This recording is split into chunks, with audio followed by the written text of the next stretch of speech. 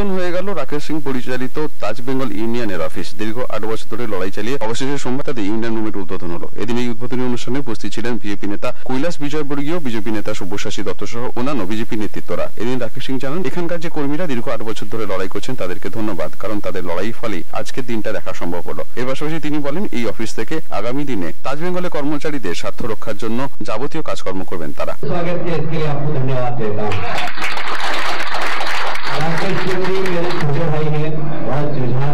वो कार्यकर्ता। है अपने कार्यकर्ता के लिए, अपने सहयोगी के लिए किसी भी सीमा तक जाने की क्षमता करते हैं। अपनी चिंता नहीं करते हैं कि रेल में जाएँगे कि जेल में जाएँगे। अपने साथी को, अपने साथी को बचाने के लिए कहीं पर भी कूद जाएँगे, कहीं पर भी संघर्ष करते हैं। जैसे लाख को साथी है